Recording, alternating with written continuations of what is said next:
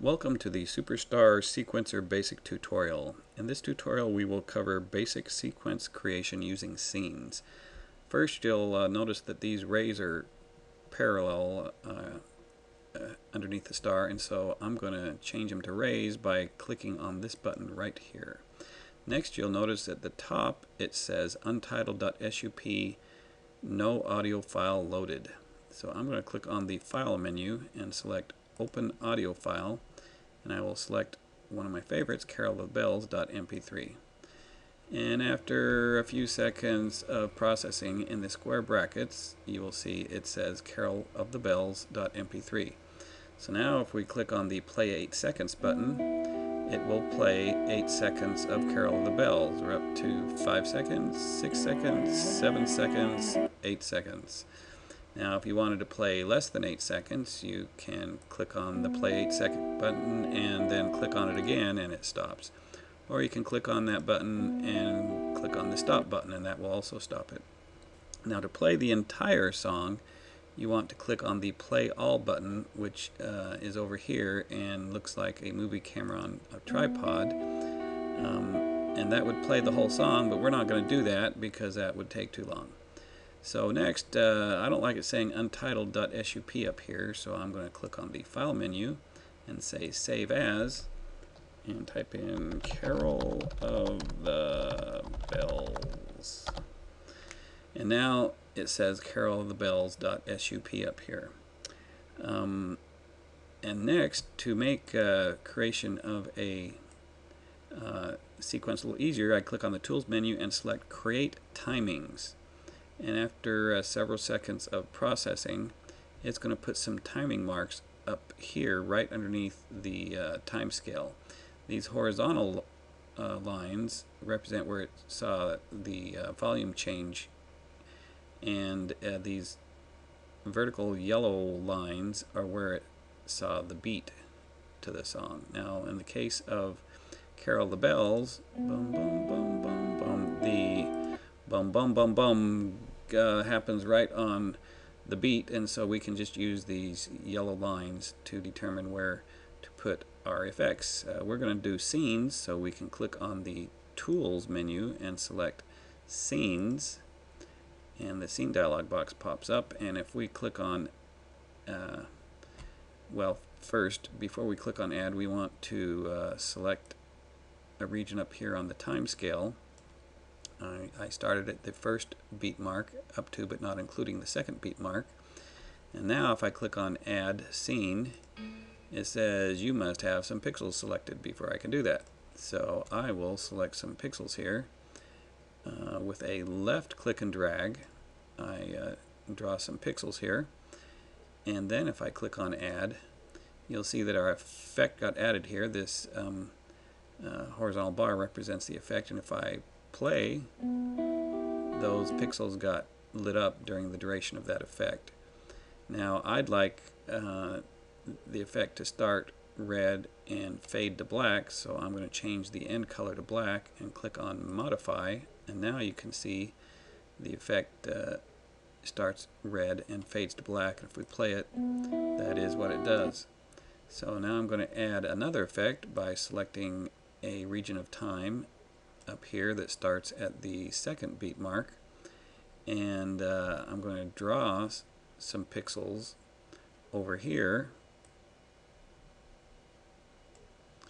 And I uh, did that with the left mouse button. I, I, I, drew one more than I wanted to. So with the right bus if I click with the right mouse click uh, it erases that pixel. And I also want to erase these over here. Again I do that with the right mouse button. Um, and uh, I don't want this to be red I want it to be green so I change that to green I click on add and now we've got our green effect up here.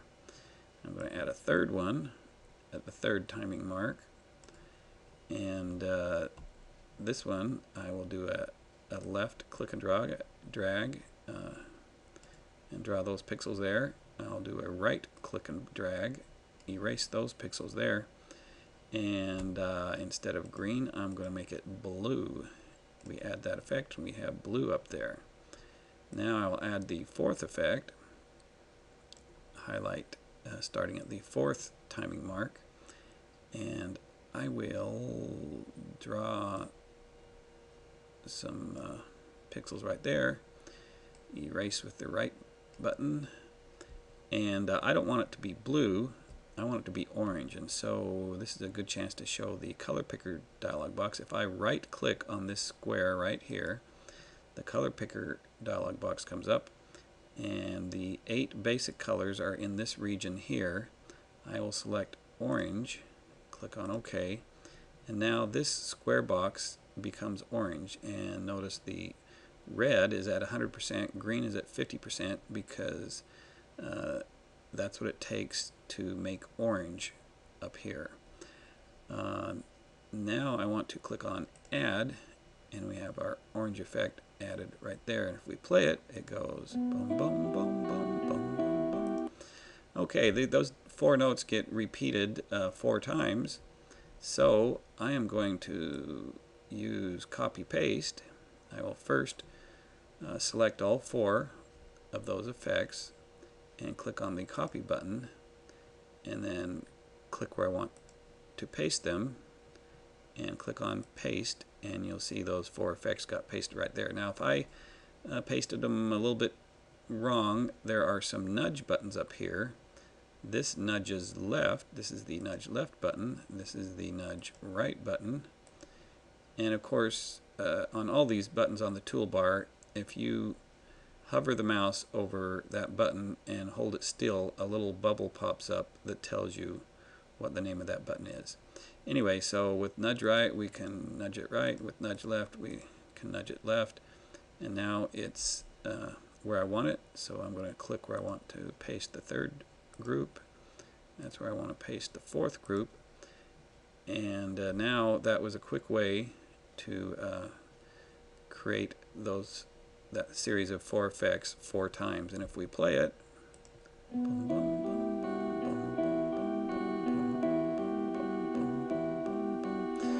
we uh, see it get played there.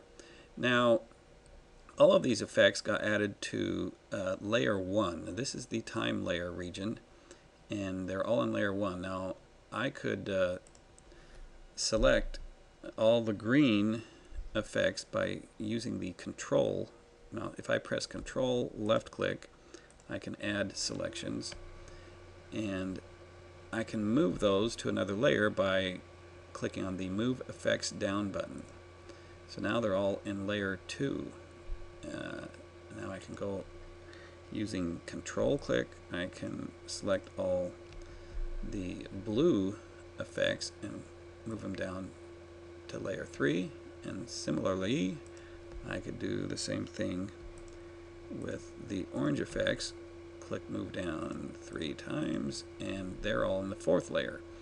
Now this is merely to make it so that I can see the groups of four easier. The computer doesn't care which layer they're in as far as playback goes. If I play it back,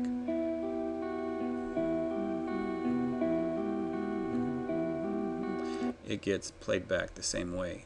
Now another advantage of grouping them this way is it makes it easier to select uh, things such as uh, let's say I want to change all these blue guys uh, to a different color.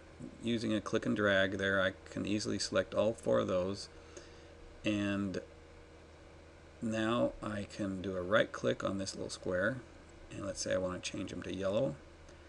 I click OK this becomes yellow now to uh, to change them all I click on group modify click on OK and now all the blue became yellow and of course if I play it back um, the blue did become yellow here.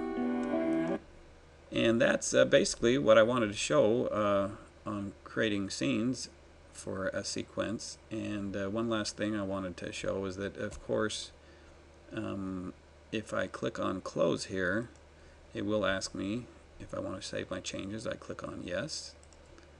And then if I launch the program again, you can uh, load the sequence that you just loaded by clicking on File and Open. And uh, in my case, carolofthebells.sup is right there. but I'm going to click on cancel here. Um, an easier way to do that is just click on file. And in this list down here it shows uh, your, your sequence will be in that list. And I'm going to click on carolofthebells.sup and indeed the uh, the sequence is there. And uh, that's all I wanted to show for this tutorial. Uh, the next tutorial I would suggest taking is the one on morphs. And uh, that will do it have a super day